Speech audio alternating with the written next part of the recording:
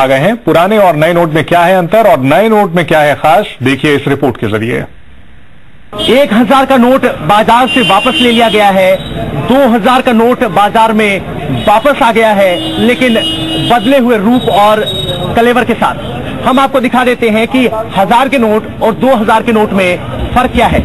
सबसे पहले बड़ी बात यह है कि अगर आप इसका साइज़ देखेंगे तो हज़ार के नोट से थोड़ा सा छोटा है दो हज़ार का नोट।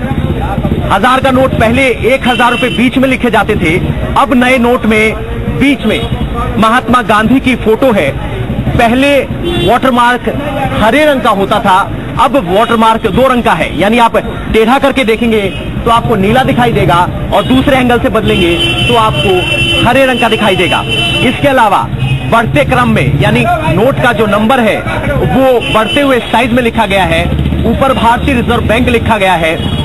जहाँ पहले लिखा जाता है कि मैं धारक को एक हज़ार रूपए देने का वचन करता हूँ, अब वो थोड़ा सा शिफ्ट होके दाई ओर आ गया है।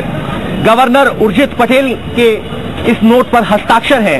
वोटर मार्च की अगर बात की जाए तो अगर आप ऐसे लाइट के आर पार देखेंगे तो आपको गांधी जी की तस्वीर दिखाई देगी। दो हज़ार रुपये अंदर दिखाई देंगे। इसके अलावा गांधी जी के साथ दो हज़ार रुपये लिखे गए हैं। हिंदी में, यानी देवनागरी भाषा में दो हज़ार रुपये लिखे गए हैं। और इस नोट को अगर आप पीछे पलटेंगे तो मंगलयान की तस्वीर है, पंद्रह भाषाएँ, जिनमें ये लिखा गया है कि ये कितने रुपए हैं। ऊपर Reserve Bank of India numeric में लिखा गया है टू थाउज़ेंड रुपीज़ दो हज़ार रुपये हिंदी, अंग्रेज़ी। स्वच्छ भारत का लोगो भी है।